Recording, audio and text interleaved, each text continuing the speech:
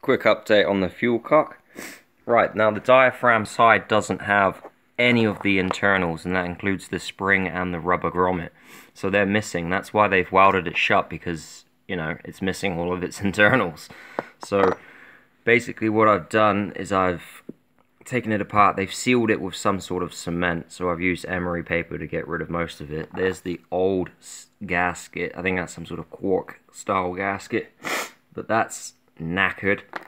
So I've gotten rid of that. I've also popped up the road and got some exhaust washers and bolts for a dollar, so that's nice. Um, they didn't sell the fuel hose, hose clips, so I'm going to have to get them online, so it could be a while before you see a running video, I'm afraid. But I will post up little updates like this. I've jimmied up this gasket to go in between.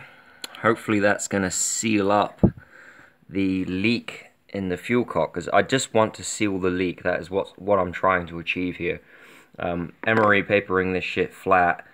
Um, this is part of the internal uh, diaphragm that goes in there, but this with the gasket should seal that up nicely after it's all emery papered down.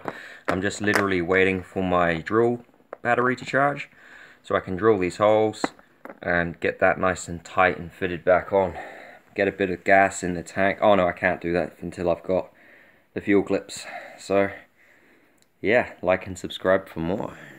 Good day.